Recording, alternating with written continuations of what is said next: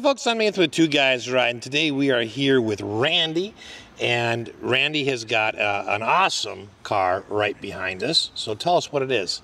This is a 1957 Chrysler 300C convertible, one of 484 originally made.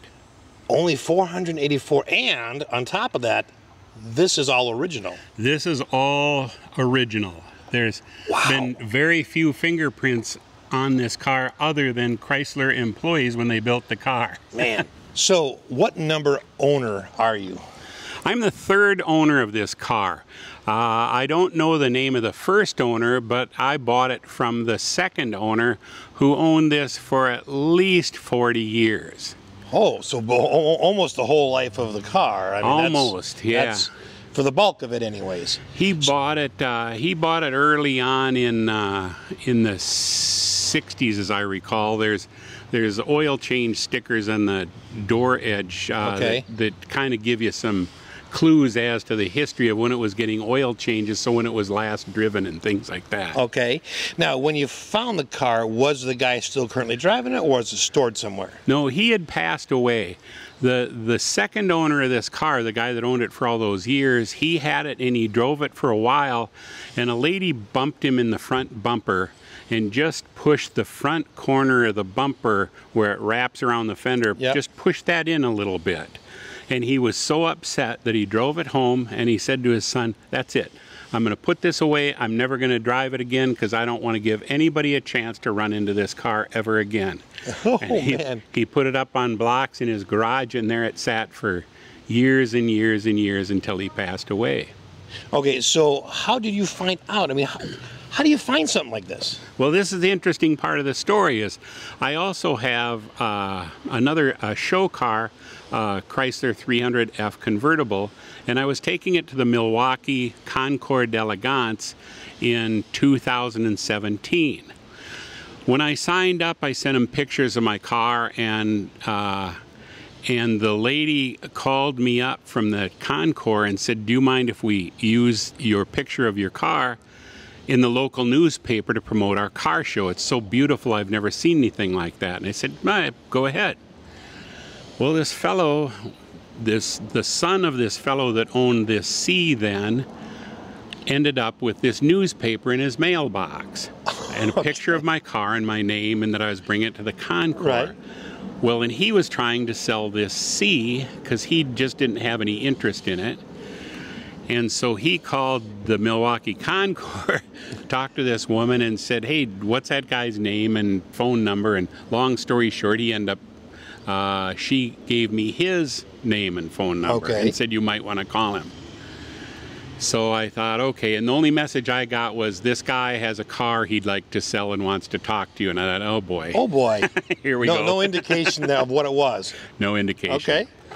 So I was in a good mood and bored one afternoon, so I decided I would call him up and see what he's got. So he starts talking, and he says, "Well, it's this 1957 Chrysler 300C convertible." And I said, "Whoa, whoa, whoa! Wait a minute! Wait, wait, wait! You're sure about that? You're not just saying something, or do you understand what you're talking about and how rare and how you know like that?" And he goes, "Oh, I know what I've got." He goes, "That's what I've got." And so I tried to play it cool and I said, well, you know, maybe in the next few weeks, maybe I can find a way to get out there and look at it. And then I hung up the phone and I said to my girlfriend, I said, pack your bags, we're going to go right now. So, off you went. Off we went and looked at this car and uh, we came to an agreement on the price. And I just couldn't even believe my good luck. But what a fantastic car. Well, So- and, and especially, and, and we'll, we'll we'll go around the car and talk about it. But for being in original condition, that's just crazy. Yeah, it's it's all it has the original factory installed convertible top that's still soft and pliable and in good shape. The factory installed interior, dash gauges, all that. Now this car also had a factory installed highway hi-fi. Now that's an under the counter, under the dash record player. The Highway Hi-Fi is a record player made just for Chrysler and it turns at 16 and two thirds RPM. which is slower than normal record players. Exactly. So it'll play for a long time on one side of the record. Which means you have to have special records for it. You have to have special records, correct. And you have a couple of those. I have the whole set. Well, here's what also was funny about this car. Not only it had a factory installed highway hi-fi, which now is not in there right now because it wasn't working and so I sent it to get it repaired. Okay. But when I opened the trunk, there was two NOS highway hi-fis in the box that had never been used and a complete set of records uh, about well a complete set would have been 36 i believe Okay. i have about 28 of them still Wow. in the factory built leather bound container box with a little lock with the keys Oh my gosh. and it was absolutely incredible Isn't that those those little gems that you find afterwards you didn't really even realize? But something that would be incredibly hard to get. It, almost impossible. Almost impossible. The records what's in the come up on eBay once in a while for sale, and they usually go between a fifty and a hundred dollars a piece. The little box that they originally came in uh, that I have, it's really an item that is quite extraordinary. When you pulled it out of the shed, what did you have to do to it to get it? I mean, you must have had to at least buff it out or do something. We had to do a couple of things. We had to, the brakes were uh, needed to be redone and the brake lines. Right. Uh, the gas tank, we just replaced it because it had foul gas in it, like, ooh, it was nasty. Yep. We just replaced the gas tank and the gas lines. We had to rebuild the carburetors. Okay. We had to rebuild the radiator. Okay. and those are all things that would, I mean, it would go on any car if it was sitting for that long. Yeah. But what was interesting, it still does have the original fan belts, the original radiator uh, hoses, Are you with all the original clamps. We didn't touch anything that we didn't have to touch. Okay. And when we got it home, I said to Michael, my restorer, I said, let's just hook a battery onto it and see how much of this stuff on this car even works. Well, almost everything, every light, every blinker, every, uh, the radio, the, uh, the turn signals, uh, the lights, the backup lights, everything, the top, uh, no, the top didn't work. We had to repair that Okay. uh, to go up and down, but pretty much everything on the car worked just the way it was supposed to. The horn tooted. It's just amazing after all those years, you can pull something out of the, the garage and hook a battery to it and get it to do that. Oh my gosh. We did a little work to get the top to go up and down, and then, like I say, the highway hi-fi, uh, the turntable wouldn't turn. So uh, I got that off. It'll get repaired, and then uh, and we got her all working. Yeah, Now the uh, the chrome work on it. yeah. How that that's all that's just been buffed.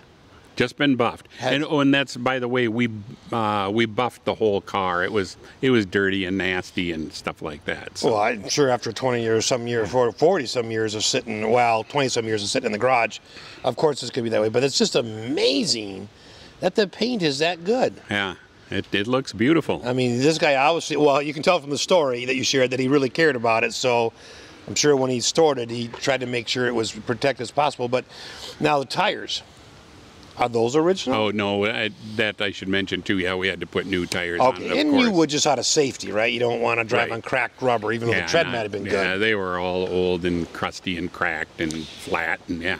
But this is how it would have originally looked. Yeah, yes it is. Now, there's only 480 some made, 484, yes. 484 convertibles. Right. Man, how many more do you know of that are in existence? Well, uh, according year. to the Chrysler 300 International Club, um, as I recall, and I'm doing this off the top of my head, so, but I, I'm going to guess somewhere around 60 to 80 of them, something That's like it. that. Yeah. Oh man! All right, I absolutely love not only that the, the shape of the vinyl roof is is nuts. I've had several convertibles and I cannot believe the shape that's in. The stitching, Yeah. I mean, No holes, no tears. It's soft. It goes up and down. Yeah, just it's like a supple. Yeah, I mean, it moves. Fantastic.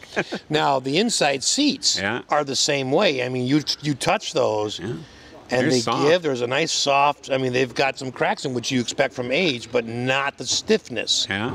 Yeah. I mean, that door is- panels are all in good shape. The the, The- uh, yeah, the door cards plates are in there? good shape. Man. The power seat works, goes all six directions. This also has a power antenna, and uh, it also works. Yeah, Really, the power antenna works? it sure does. Yeah. My guess is the guy never used it.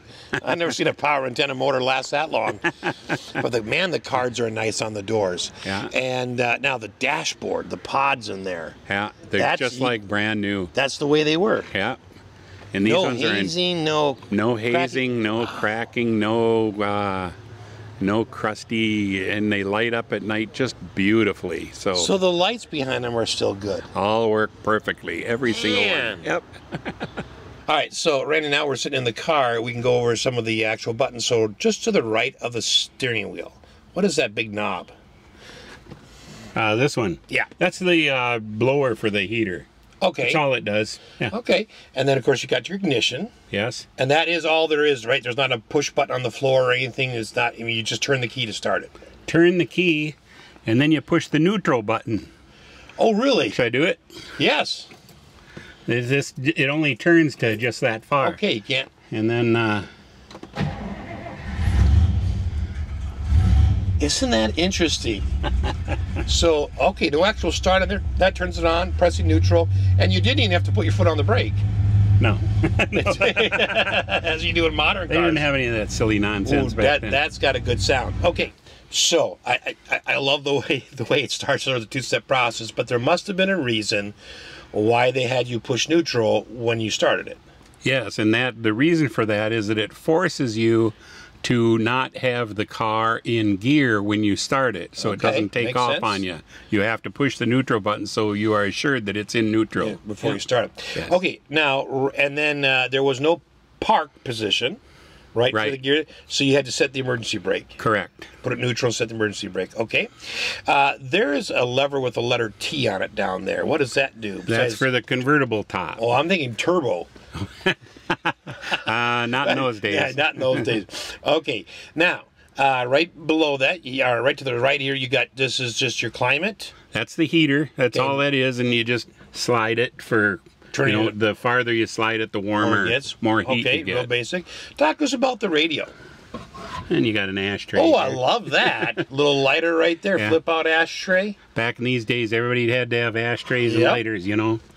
Uh, the radio is interesting. Um, there, the thing I wanted to point out is that these little uh, uh, triangles with the circle around them, Yeah. right here at station 640 and 1240, that was part of what was called the Conelrad system in America.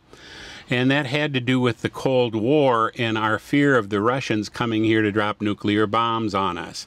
In that event, the Connell rad system would get employed, and you would turn to one of those spots on your radio dial to get directions on instructions on what to do in the event of a nuclear attack.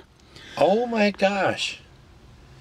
So, and you could go to either one, Yes. but a quick button push told you where it was. And wow. The other interesting thing is that if there was uh, the Russians were coming with their nuclear bombs, and they were going to attack us, and we knew it, and they were coming, all radio stations were required to shut off and stop broadcasting so that the Russian planes couldn't hone in on their radio signals and figure out where to drop their bombs. So all radios went silent except Conelrad, and they would just broadcast for about five minutes, giving people instructions, and then they would go off air, and then they would, when they come back on, they would alternate five minutes on, five minutes off, but every time they came back on air, they would switch frequencies to keep the Russian planes, the bombers, from figuring out exactly where, like I say, to drop the Okay. bombs.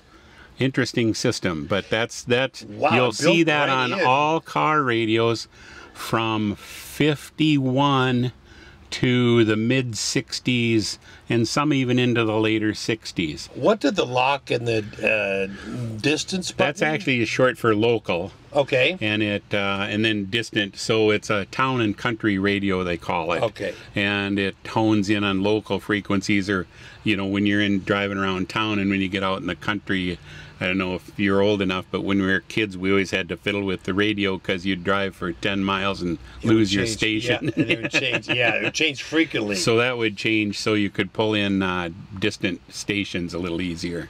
oh man. That is just fascinating. Yeah. Now on the uh, on the dashboard itself, I mean there are there's no there's no cracks. No, no, yeah, the dash pad, that's factory as well. And there are no cracks. And that steering wheel is, of course, the factory steering wheel. And there, I don't remember, I don't think there's any cracks in that as I recall. No, at all. Oh man, I mean I can't believe that. Uh, I mean that's got to be a vinyl dash. It is, yes. It's in perfect shape. How in the world does that happen? I don't know. I mean, a modern car's vinyl dash wouldn't last that long. You come back over 20 years of storage and it's going to be cracked. Yeah. That's amazing. Yeah. Okay, now um, the uh, the back seat is also all original. That's correct, yes. Okay. Uh, hubcaps on the outside are original. The symbols, the emblems up here, Correct. where the 300C is, that's all original. yes, it is. Oh, Man, I love the tail fins and the course. And Uh, you can see back. around back on the trunk lid, uh, it has a uh, emblem from Edwards uh, Chrysler in Milwaukee. So this car was originally sold brand new in Milwaukee, Wisconsin. Man, And that's where I bought it. The fellow I bought Oh, it really? from was just outside of Milwaukee. Interesting. So lived his most of his life in Milwaukee. Been there, yeah. Well, it's a good thing you brought it to Now Minnesota, it's the in Minnesota. state. Yeah. The trunk was all original. That was in good shape. It was in the original factory uh, carpet was in there, and I've kept that. Although when the guy stored it away, he put mothballs and I don't know what all in there, but a bunch of stinky stuff to keep the rodents out. Right. And unfortunately, the car when I got it, it smelled so bad. It was just putrid, and and so we just took that carpet out of the trunk and I put it in a plastic bag, and I still have it to use as reference to uh, you know to getting new carpet made right, that has the same yeah yeah. fiber and stuff. But it, it smells bad, so I just took it out of there, you know. Yeah. And, and then the car I've had for, I don't know, five years now, we just left it open in the open air to try to air it out. it And most of that smell has gone away now, but it was Well, pretty you know, rough. it, I mean, it it is amazing to be able to store a car for that long, and the mice and rats haven't chewed up all your upholstery. exactly. So whatever you did might have stunk, but it must have worked because that that's Mothballs crazy. and dryer sheets. That's what he had all over it. Man, he was he was obsessive about keeping this car in good shape. well, and- and, and he succeeded, didn't he? yeah, he That's did. just yeah. amazing. All right, so what does it ride like? So Oh. you, you, you get it all mechanically fixed, so you can actually go for a ride in it. That's the other thing. It's fantastic. There's no rattles. There's no. It doesn't do anything weird or. I mean, it drives like a perfect brand new car. It floats down the highway and just dry. Uh, it's it's unbelievable. It brakes straight. It steers straight. It does everything you would expect a new car to do. How many miles does the car have on it? Well, the odometer shows about 48,000, and I think that's probably right. In fact, I'm quite confident that it's right. That's So, right. yeah. It would it would be is it, considering how you can get it and drive it, and there's not all that. I mean, mechanically, it's it's pretty sound. Other than There's the no things you'd expect after anything. replace. Yeah, Man, just incredible. Yeah. it's so it's so fun, uh, you know, to find these Randy that are uh, all original. Yeah. Have you know the only thing you've done is just the few basic things you did just so you could drive it uh, in the engine, but amazing that that has been maintained like that. I mean, that is a that's a little gem right there. Well, a big gem. It is. it's not a little car. It is. So, what made you get into? Uh, was it Chrysler specifically, the Chrysler 300s?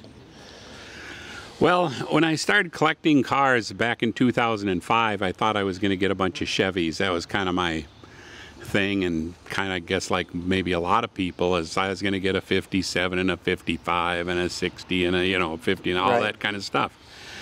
And I did. I do have a 60 Impala. That's a very nice car, and I keep it to this day, and I love that car. It's fantastic. And I, anyway, I end up kind of getting steered toward these Chryslers. I didn't know anything about them, and the more I learned about them, the more intriguing they got. And I just thought, with the fins, the styling, that Virgil Exner, for me, it's from 57 to 62 are the most beautiful cars, and Chrysler always put enormous engines in them, which is fun. but these opulent, sexy interiors with leather seats and and fancy dashboards with Very fancy. beautiful gauges and and just they just made beautiful cars that I like to refer refer to as sports luxury cars. They're sporty, but they're also luxurious at the same time. They, they are beautiful on the inside. When you look at the 300Cs, and I mean, it just those dashboards are elaborate. It's incredible, yeah. Now, what kind of an engine does this car have? This one has a Hemi. It's a 392 Hemi, and they just made that for four, or excuse me, two years, uh, 57 Okay. and 58. It has two four-barrel carburetors that are in line, and it makes 375 horsepower. Wow, that's a lot for that time. It was the most powerful production car in America. Oh, I, I can believe that. That's a ooh, you're talking mega numbers there for the 57. Wow. And it and goes, then yeah. transmission was uh, automatic. Automatic, TorqueFlite, three-speed. Okay. Yeah. So the the transmission when you when you look inside, you don't see a normal transmission lever. Right. So where is the transmission? It's on the left side there, uh, and it's buttons, push push button transmission. button transmission I like to say typewriter drive, and uh, there a fellow that used to say perfect for a left-handed saxophone player. It's you know it's so fun, right? To see these these things that a lot of people like think are modern. Because modern cars now, just starting in sort of 2019, 2020, started coming out with push button transmissions. You know, you pull or push something, and here they were back in the 50s. Yeah, Chrysler did it for a number of years. Uh, they started with push buttons in 56 and went all the way to, I'm not even sure how far, but into the middle 60s somewhere. Okay. Yeah. So the question basically is you have a few of these cars and you have restored them to show quality. I mean, you have won multiple awards on many of your cars. So this one's all original. Right. Do you have any plans for it or are you going to leave it original? I'm going to leave it original. This is just too nice a car to fiddle around with. There's no reason to restore this car at That, all. that it is absolutely stunning, isn't yeah. it? Yeah. This uh, wow piece of artwork sitting there. It's a funny thing about these old cars too. It's you know, there's a bunch of sayings, you know, they're only original once, that kind of thing, and but but they also drive better. It just seems like when you restore them, and it doesn't matter how much money you put into them, they're never quite the same. It's just I don't know, but And this one is all original, so it drives and rides like it would have out of the showroom floor. absolutely perfect. Yeah, it's just incredible. Yeah. So, what's one of your favorite memories with this car? Well, I haven't built a lot of memories because we just got it uh, running and driving last summer. After I bought it in 2017, um, I just left it on my trailer. I couldn't decide what to do with it, and I was afraid to wash the dust off because I thought it would devalue the car. Ah. I talked to a lot of people and looked at it and said, I don't know, what would you do if you were me? Would you touch it? Would you get it running? Or would you just leave it? Or what would you do with it? You know, and everybody's like, I don't know, I don't know, but I wouldn't restore it. And so, uh, and there were several people that offered to buy it from me, and I thought about that because anyway, I couldn't. Anyway, and then uh, my restorer Michael just goes, "Let's take that car out of the trailer and get it running." And so I said, "Okay," and uh, he got it running just last spring, so just a year ago. Okay. And I drove it all around last summer and just had fun. I drove it in uh, Parade in Hopkins with a couple of beauty queens on the back. That was fun. Nice. Um, you know, and I've shown it around a little bit. Mostly, I just drive it around. It's So you're just starting to create the memories. just just starting now. Yeah. Okay, so Randy, I happen to notice that you got the Three Stooges pictures inside. What's that for? Well, it's important. The the Stooges keep me safe and they keep me company. I'm a little worried when you say the Stooges keep you safe. Yeah. Somebody's got to ride with you. So there, there you go. well, Randy, thank you so much for taking your time and sharing this beautiful original car with us and the story. Well, thank you, and thanks to all the viewers. It's been fun. Thanks for watching.